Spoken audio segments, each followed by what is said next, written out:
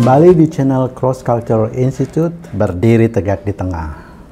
Bahasan kali ini saya ingin mengupas soal koalisi partai-partai. Nah, mengapa saya bahas? Karena memang adalah hal yang janggal terjadi koalisi partai-partai dalam sistem presidensial. Ini masalahnya. Jadi saya awali dengan fatsun sistem politik presidensial itu orang memilih orang ya.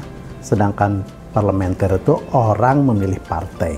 Nah di dalam sistem presidensial itu fatsunnya tidak dikenal adanya koalisi dan oposisi tidak dikenal karena ya keberadaan seseorang yang berada di parlemen itu mewakili dirinya ya jadi tidak mewakili organisasi atau partai yang mengusungnya mewakili dirinya. Jadi ketika semua yang ada di DPR itu berkoalisi kemudian melakukan perlawanan oposisi kepada presiden, itu tetap tidak akan memenuhi kuota suara yang didapat uh, oleh presiden. Maka di dalam sistem presidensial, presiden itu adalah penguasa yang mutlak tidak bisa digoyang oleh kekuatan parlemen. Makanya keberadaan karena keberadaan seorang anggota parlemen dalam sistem presidensial mewakili dirinya tidak mewakili partainya. Yang terjadi di Indonesia adalah kita menggunakan sistem parlementer.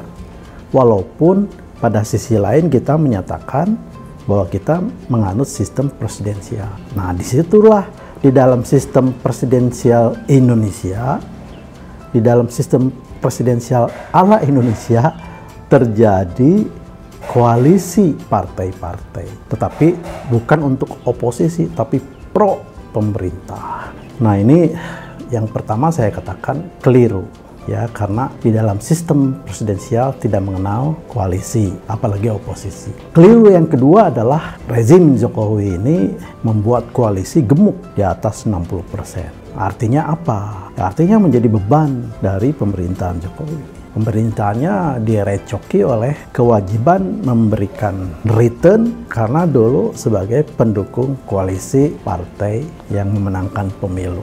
Jadi ya konsekuensinya ya harus bagi-bagi kue kepada partai-partai pendukung itu. Dan ternyata sekarang dengan berbagai kelemahan dan kasus yang terjadi, korupsi, penyelewengan, BUMN, tambah kacau dan lain sebagainya, itu karena koalisi yang dibangun besar-besaran yang justru melemahkan pemerintahan Jokowi sendiri. Artinya tidak ada kontrol, artinya lepas dari kontrol-kontrol dari DPR. Terjadilah seperti lolosnya Omnibus Law yang yang kemudian kemarin mendapatkan resistensi dari masyarakat yang begitu besar.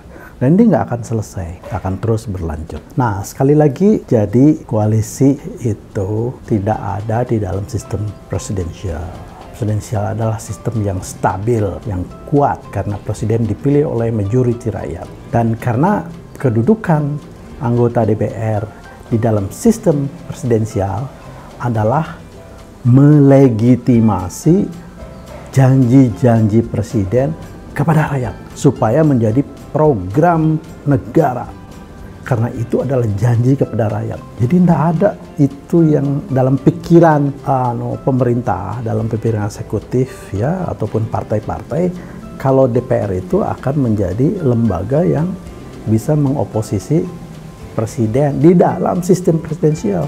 Nah itulah karena mindset kita keliru, mindset kita ini jauh dari fatsun yang benar, terjadilah sistem presidensial di mana di dalamnya dibangun koalisi karena khawatir DPR menjadi oposisi eksekutif. Itu sekali lagi di dalam sistem presidensial tidak ada koalisi apalagi oposisi. Fungsi anggota dewan di dalam sistem presidensial adalah melegitimasi janji presiden kepada rakyat menjadi program negara.